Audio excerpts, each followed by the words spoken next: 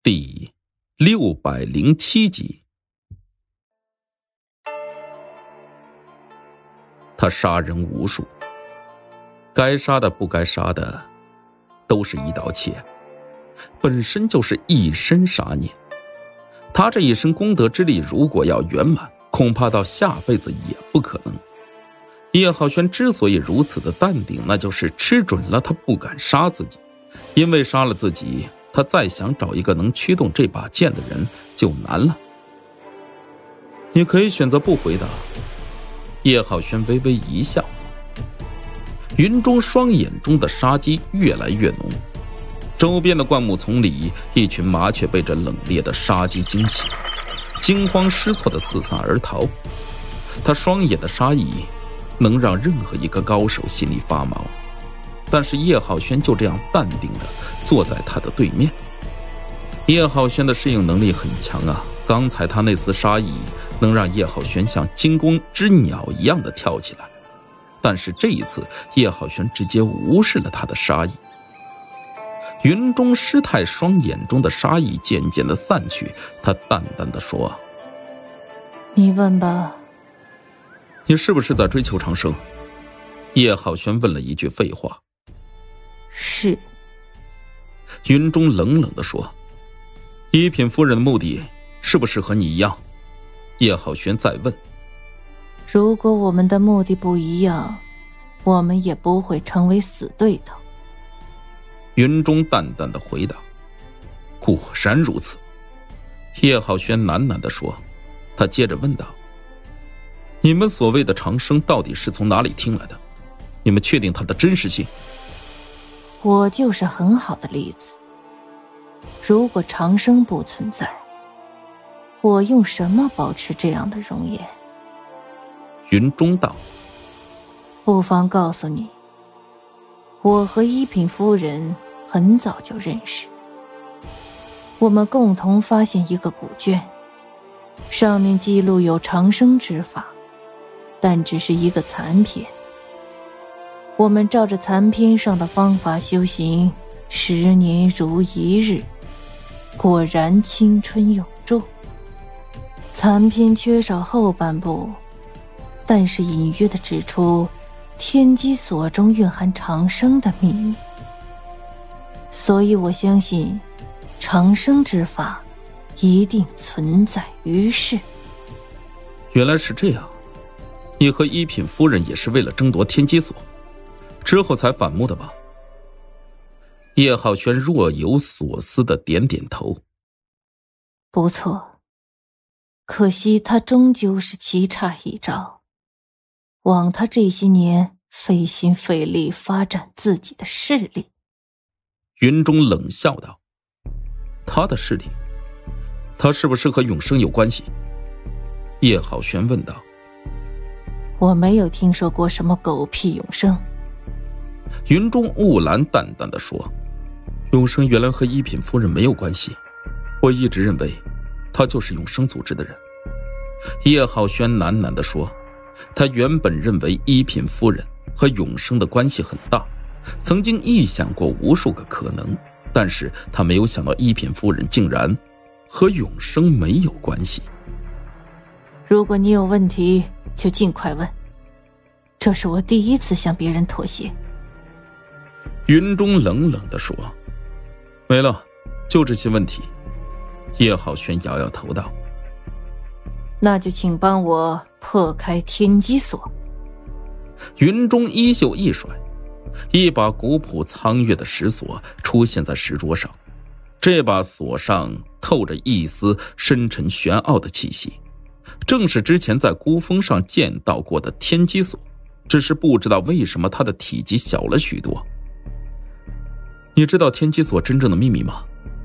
叶浩轩沉声道：“我只知道，它里面有关于长生的秘密。”云中淡淡的说：“天机锁里面并无长生。”叶浩轩缓缓的摇摇头道：“这不过是一个阴谋罢了。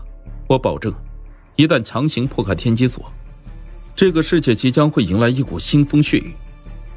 不破开试试。”你怎么知道它里面没有长生的秘密？云中反问：“因为我在孤峰上遇到过天机所真正的主人，他就是应龙。”叶浩轩沉声道：“当日在孤峰上，那个似梦似真的幻境一直萦绕在他心头，他隐约间已经明白了关于天机所的种种原因。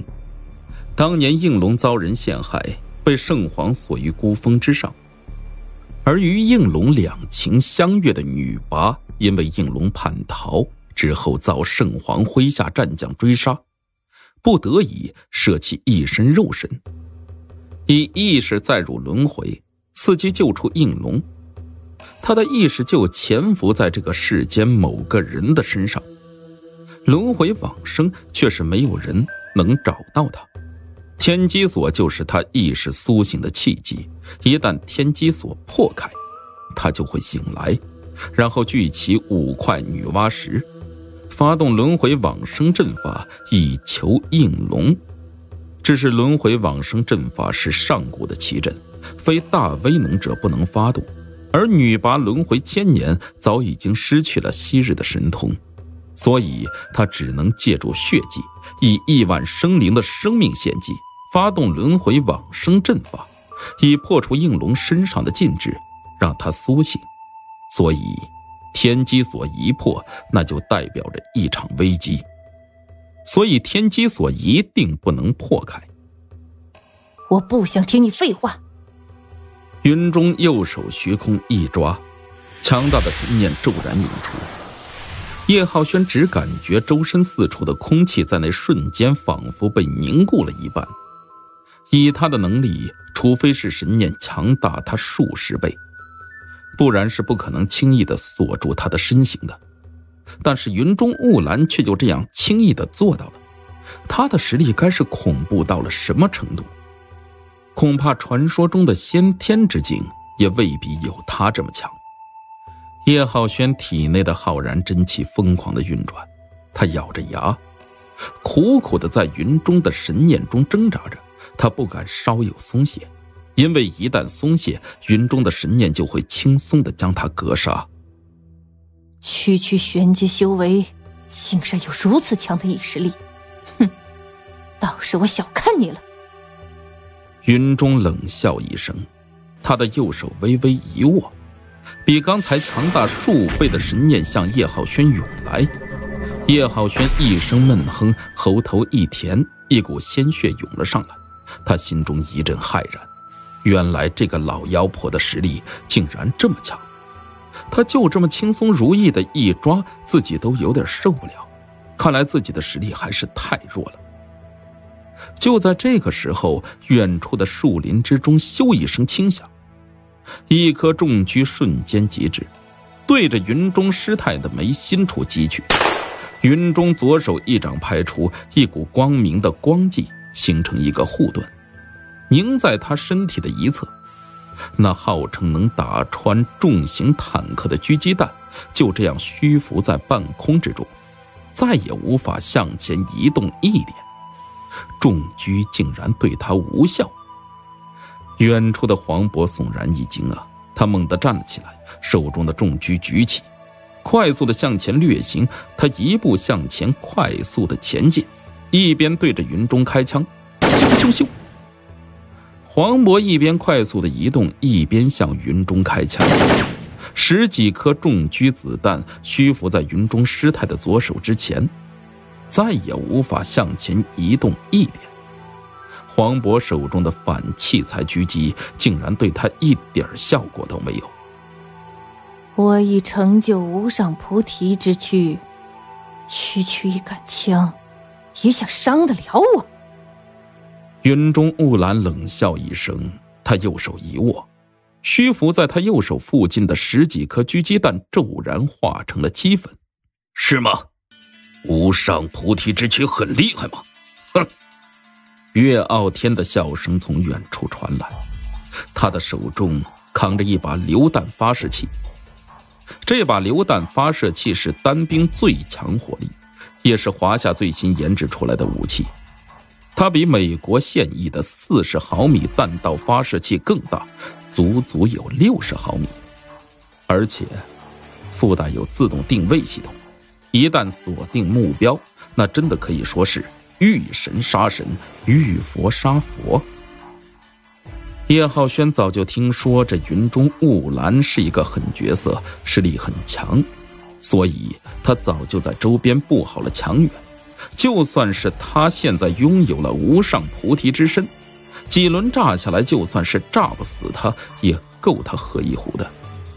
几乎是同时，半空中几架战斗机呼啸而来，悬浮在半空之中。战斗机上自带的激光制导弹。已经露出了獠牙，不过这战斗机多半也是威慑的成分居多，不可能直接发射的，因为上面的激光制导弹一旦倾泻下来，方圆数里都会成为真空地带。不过，用来吓吓云中雾兰也是不错的。岳傲天向前猛地奔跑一段距离，实力已经恢复到巅峰的他。扛着这个特制的榴弹发射器，脸不红气不喘，脚步如飞，根本不像是一个老人家。他在距离十里亭几十米的地方站定，然后熟练的锁定了云中雾兰的位置，毫不犹豫的扣动了扳机。云中雾兰的瞳孔一缩，只见一抹光迹迅速的向他飞来。那颗六十毫米的榴弹炮来势汹汹，就算来一下无所谓，但也绝对吃不消啊！他右手衣袖一卷，在石桌上的天机锁骤然引入他的袖中，他双足微微的一点地，身形虚浮，离地三尺，向远处缓缓的飘了过去。叶浩轩感觉周身一松，对方强大的神念顷刻消失。他来不及喘息，猛地向亭子一边的一条小溪里扑了过去，一个猛子扎入了水中，轰！一团火光冲天而起。就在叶浩轩落入水中的那瞬间，他刚才所在的那个亭子被炸为平地。叶浩轩从水中钻出来，目瞪口呆的看着四散而去的硝烟，他心中愤怒。心想：战神也太不把自己当回事了。他就确定这一炮能把云中雾兰逼走。如果这个女人是个狠角色，硬扛一下榴弹炮，那刚才这一击岂不是把自己炸飞了？师傅，你就不顾我的命了吗？叶浩轩欲哭无泪的说：“ 嘿嘿嘿嘿，我料定那个女人绝对不敢拿自己的命开玩笑。什么无上菩提之身？”以现在我军的火力，还奈何不了她一个老太婆。哈哈哈哈岳傲天哈哈大笑，叶浩轩无语。他从小溪边游了上去，走到了岳傲天的跟前，苦笑道：“啊，这老太婆实力很强，分分钟能秒杀了我。她不会杀你，因为她有求于你。”黄渤淡淡的说了一句：“老黄说的对。”你的事情我也了解过一些，听起来有点玄奥。哼，只是云中雾兰也是成名已久的高人了，他竟然会相信这些虚无的东西。哎，岳傲天摇摇头，然后拿出手中的一个对讲机，喝道：“演习结束，空中支援马上飞回基地待命。”随着他一喊。半空中的两架战斗机，一个漂亮的盘旋，转身向着秘密基地飞了过去。好厉害，战斗机都叫来了。只是我好奇啊，如果战斗机下面挂着的激光制导弹，真的对着地下来一下，会有什么后果？唉，叶浩轩无语的说：“没有什么后果，我们这些人一个也跑不了。”黄渤淡淡的说。呃，感情这是唬人的呀。叶浩轩摇摇头，想起刚才云中师太那身鬼神莫测的实力，他都感觉到蛋疼。越向前走，越是如履薄冰。现在他感觉各路妖魔鬼怪都跑出来了，归根结底，还是自己不够强。我和云中雾兰打过交道，他是个不达目的就不肯罢休的人。所以以后要多加小心，必要的时候跟我联系。”岳傲天沉声道：“我知道，谢谢师傅，我会小心的。”叶浩轩点点头。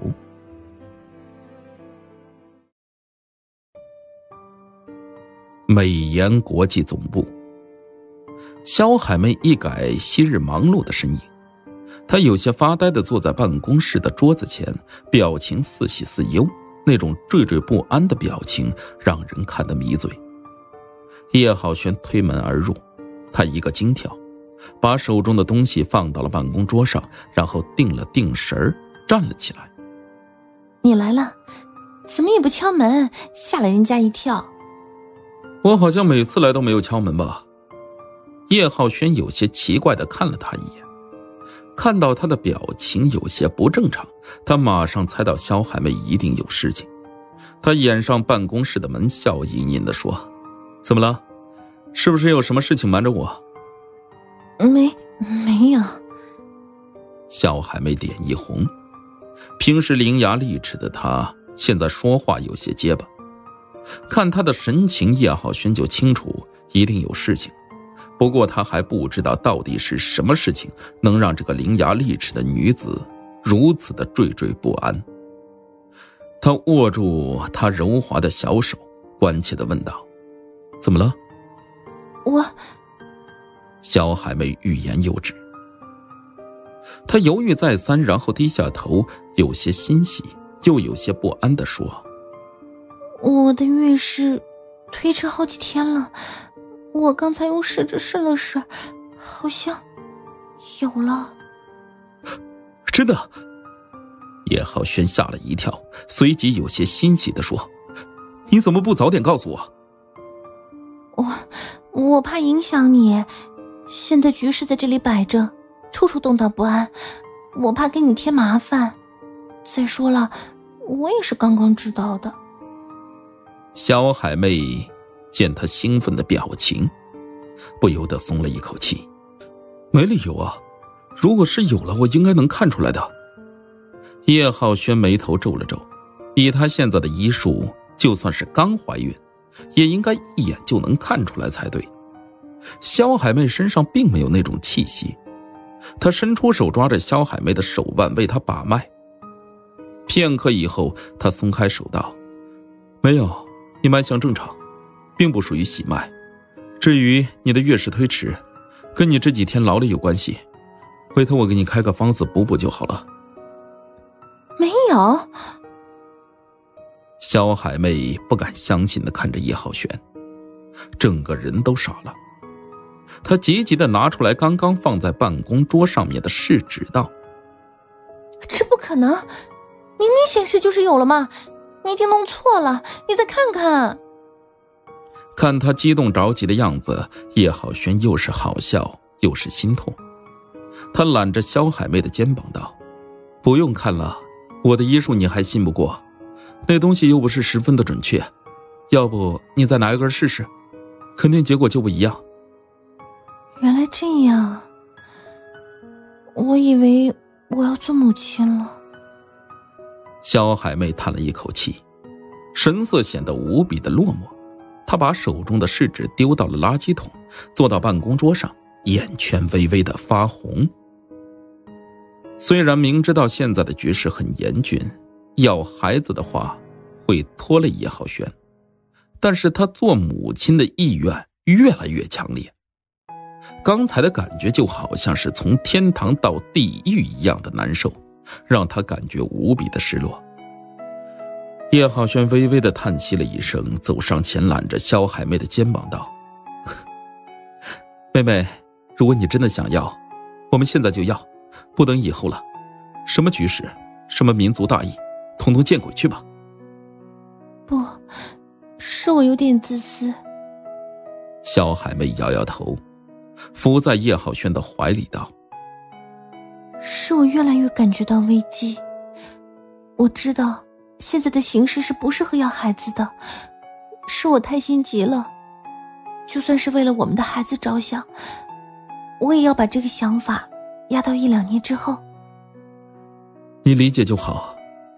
叶浩轩抚着小海妹的秀发，心中的感慨越来越多。他只恨自己现在还不够强大，否则的话，一巴掌扇飞所有的敌人，就没有了后顾之忧。那样，肖海妹就可以安心的要孩子了。可是我们上一次在一起的时候没做措施，我算过日子，怎么还没能怀上？是不是我有问题呀？肖海妹突然想到了一个可能，她有些惊恐的说。叶浩轩无语的瞪着小海妹，然后在她的额头轻轻一点，没好气的说：“你呀，就是想的太多了。我是医生，你有没有问题我还不清楚啊。安心好了，没事的。”